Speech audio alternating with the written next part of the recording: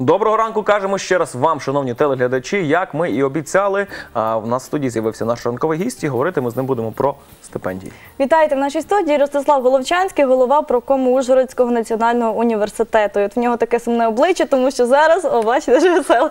Зараз ми будемо говорити про стипендії, адже зовсім нещодавно і взагалі точилися розмови про те, що стипендії від студентів можуть або взагалі забрати, тобто зникнути можуть, або тільки виплачуватимуть соціальним соціальні стипендії. Бачимо, Міністерство освіти обрало середину, так? І розкажи, будь ласка, детальніше про ці нововведення. Ну, це все вже триває біля року. Е, Ці всі переговори, розмови і ініціативи Міністерства освіти. Ну, Це потрібно зрозуміти, що це ініціатива Міністерства освіти і Міністерства фінансів. І біля року тривають ці перемови. Але е, всі керівні організації студентські, які знаходяться в Києві, тобто центральні, вони висловили позицію, що е, це не потрібно робити. Ну, в будь-якому разі це не потрібно робити в такому вигляді, як вони тепер зробили це. Але вони вийшли на інший шлях, вони зробили по-хитрому досить. За місяць до прийняття бюджету вони раз, два зробили механізм без обговорення, е, зробили е, законодавчу базу. І вчора законодавчу базу саме вчора вони прийняли. В якому вигляді так це в якому вигляді це буде вже е, в майбутньому? Тобто, я- якою буде це стипендія, тому що буде спец... с- соціальна, академічна стипендія, якщо я правильно розумію. Як вони будуть поділятися і взагалі хто на них заслуговуватиме? Отак. Ну, теп- тепер е, нововведення це поділ на соціальну і академічну. В принципі, соціальна стипендія була для соціально незахищених верств студентів, а а академічна була це у кого 4.0. Це в принципі було. Ну тепер буде більш чітке розмежування. Щодо соціальної стипендії вже визначені критерії. А от щодо академічної, ні. Оце найбільша проблема. Критеріїв нема, критерії робляться поспіхом. Ми не знаємо, ніхто не знає, як вони робляться. Е, Це все приймається кулуарно. І е, як міністерство сказало, там основним критерієм буде поки що тот самий 4.0, а всі інші критерії ми даємо на розсуд університету. Тобто він сам навчальний заклад автономно якби критерії розробляє. Так, і затверджується вченою радою і погоджується органами студентського самоврядування. Ну а от яка ситуація у вишах е, Закарпатської області? Коли ці критерії будуть розбро- розроблятися? І взагалі за яким принципом? Коли студентам що студентам зараз робити? Непинно навчатися, йти на всі іспити, аби отримувати максимум? Так Е, ну, ми минулого тижня проводили наші збори, і я просив всіх наших голів, активістів донести інформацію, щоб студенти вчилися, тому що ніхто не знає, коли будуть розроблені ці критерії. Є закон. Під ним є е, потрібно внести ще Міністерство освіти деякі зміни у свої постанови. Після цього ми зможемо лише робити на рівні університету. Однак закон прийняли лише вчора, він ще не підписаний. Е, Про постанову ще ніхто не говорить. І коли це все встигнути, як це все зробити в грудень, в кінець грудня, коли вже будуть всі в святковому настрої, будуть більше відпочивати, або на початку січня, ну це ніхто не знає. Ростислав, чи можна припустити, що ось ці критерії буде розробляти, ну допуст, припустимо, вірогідніше вчена рада університету? Чи можливо таке, що вони будуть погоджувати з е, органами самоврядування університету? Ну, вчена рада їх е, розробляти не буде, тому що це е, 60 чоловік. А їх буде розробляти, е, скоріш за все, е, певна комісія, яка буде виносити свої пропозиції на розгляд вченої ради. І, в принципі, в законі прописано, що це погоджується органами студентського самоврядування. Але і погоджується органами студентського самоврядування, і в нашому, наприклад, випадку я на 100% впевнений, що е, керівництво Ужгородського національного університету залучить максимально нас е, до обговорення і до створення цих критеріїв. Але це все попереду, ми не знаємо, як це все буде. Якщо говорити вже глобально, чи йдеться взагалі про скорочення кількості студентів, які будуть отримувати саме стипендію, і взагалі яка е, яке майбутнє от саме в цього законопроекту? Яке майбутнє в нього в майбутньому? Отже, рейтингові списки так стануть ключовими. Так, рейтингові списки, яке майбутнє можна сказати, яке майбутнє в студентів. Міністерство освіти каже, ми даємо, ми збільшуємо стипендію, але просто вводимо рейтинг. Сума залишається, загальна сума е, в бюджеті залишається незмінною. А от Міністерство фінансів, фінансів каже, ми хочемо скоротити кількість е, студентів, які отримують стипендію до 2020 року, до академічну стипендію до 15%. Ого. Тобто кожен шостий лише зможе отримувати стипендію в загальному, якщо брати. І взагалі, що взамін пропонує Міністерство освіти і Міністерство фінансів? Тобто, і взагалі, які ідеї, які посили були до того, аби саме цей законопроект взагалі подати на розгляд? Ну, ми, наприклад, своїми колегами з київськими сидимо, і ми не знаємо, які посили в них були. Посили це зекономити. Ну, сідають дяденьки, які повинні прийняти якесь популістичне рішення. Для того рішення потрібно звідкись гроші взяти.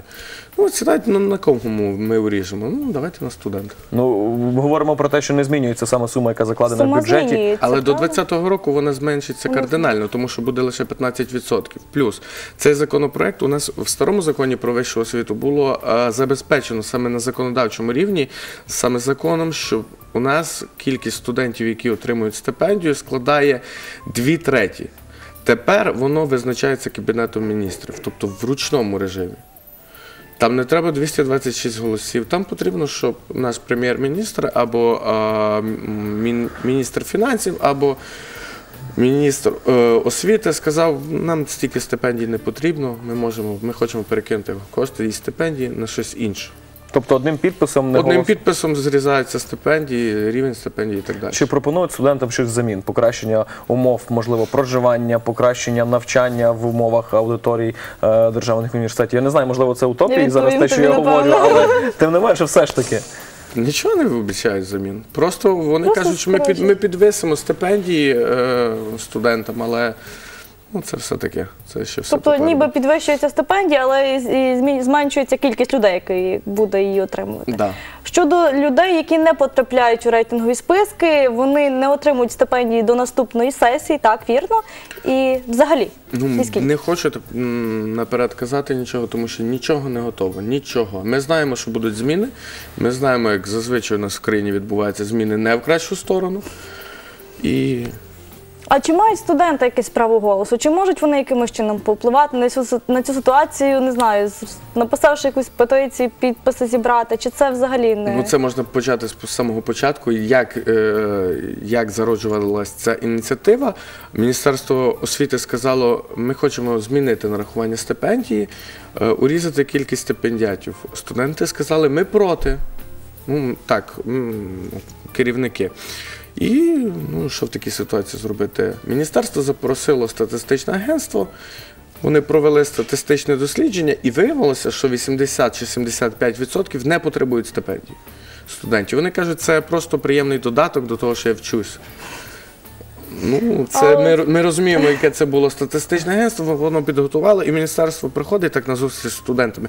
75% студентів з ваших сказали, що вам не потрібно стипендія в теперішньому вигляді. Ну то можливо, просто в такій кількості, яку її отримують студенти, вона не грає практично жодної Ну, ролі. це вже інше. Але тим не менше існує все ж таки багато студентів, тих, які можна сказати, проживають практично на одну Ось. стипендію. І вони намагалися витягувати на цю стипендію. І от я серед студентів, адже всі розмови студентів на всіх факультетах однаково точаться саме про ці стипендії. І вони кажуть про те, що якщо стипендії уріжуть, е, кі- можливість потрапити в рейтинговий список у них малий, і вони просто хочуть і- переходити на заочне відділення. Що, що далі? Чи не передбачало якось керівництво університету такий хід подій? І що тоді, якщо масово студенти будуть Так, якщо просто... стаціонарні факуль... ну, стаціонарні, е, я не знаю, стаціонарні лекції масово перетворяться на лекції заочні, коли студенти просто не будуть відвідувати щодня, е, я не знаю, лекції. будуть втративши приходити- мотивацію, Так. навіть цю грошу. Ну, знаєте, як у нас зазвичай робиться в країні, там щось приймуть, а ви тут на низах розгрібайтеся, вибачаюся. От так само і тепер ситуація не виключення. Плюс до того варто додати, що в формулюванні пише за значні успіхи в навчанні. Чи значні видатні успіхи в, навчанні. А ну, це питання постає, ви кажете, чи студенти будуть хотіти вчитися, чи будуть працювати. В мене постає інше питання: чи студенти будуть хотіти вчитися в Україні, якщо вони можуть видатні е, показати показники, чи вони візьмуть в ту ж саму Словакію, поїдуть в Польщу і, провчившись семестр, вони зможуть отримати е, стипендію Європейського Союзу 300-400 євро. От визначні, е, значні, визначні, це якесь таке фантомне поняття. От хто вирішує, це от визначне твоє досягнення чи не визначне? Немає ж ніяких рамок, критеріїв. Ну, поки немає, але ну кажуть, міністерство каже, ну нехай е, університет вирішить, хто у вас визначний студент. А тобто, можливо, що навіть і медаль будуть давати за визначні, за визначні досягнення перед рідним університетом. Якщо дійсно припустити, що такі рейтингові списки будуть складатися і от ці правила будуть введені, так то чи можна при- припустити, що викладачі будуть ще більше об'єктивно оцінювати студентів, і вже самі викладачі на них буде покладена серйозна місія обирати кращих з кращих, адже п'ятірки кожному тоді ну четвірки, п'ятірки це вже оцінювання перейде ще у жорсткіші критерії такі. Ну тепер критерії оцінювання повинні складатися з двох складових. Це 90% це наукова діяльність, тобто ваші оцінки. Наприклад, там 4, 4 середній бал, 5, 5. А 10% це інша робота на університет. Е, Або над собою, точніше можна сказати. Це активність, це наукова діяльність, спортивна діяльність, громадська діяльність. Це все може бути вписано в критерії.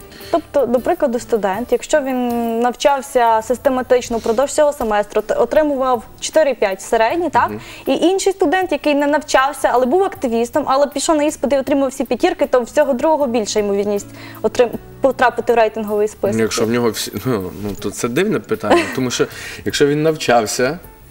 І в нього 4-5, а тот не навчався, в нього 5-0, це дивно трохи. Тобто, ну, Ну, е, не- ну, якщо- менше, якщо не зовсім Ну, можна взяти двох студентів, яких 4-5 вони приблизно вчилися, але один лише вчився і сидів, ну можна В сказати, гуртожитку за книгами? да, або за комп'ютером Або після за ком- навчання, а інший і навчався, і займався якоюсь громадською діяльністю, і має цьому підтвердження, що головне, тому е, отримає інший студент, який 4-5 плюс. е, Громадська діяльність або спортивна, або наукова. Але це все попередньо, хочеться зауважити. Все попередньо, ми все чекаємо. Ми тоді очікуємо на прихід е, твій, коли вже при остаточними будуть рішення, так коли вже будуть прийняті, будемо ж тут вирішувати, що далі робити студентам. коли але- буде чорним по білому написано. Але тобто, все одно підводимо підсумок. В будь-якому випадку студентам потрібно навчатися. Так. І зараз ми їм бажаємо гарно, успішно скласти сесію без перескладань. Я нагадую, в нашій студії Ростислав Головчанський, голова профкому Ужгородського національного університету. Відповідав він на питання щодо стипендій, хто їх отримує, яким буде нарахування. Дякуємо тобі за ранковий Вам візит. Нашим глядачам ми нагадуємо, що програма Ранок на тесі продовжує свою роботу. Залишайтесь з нами.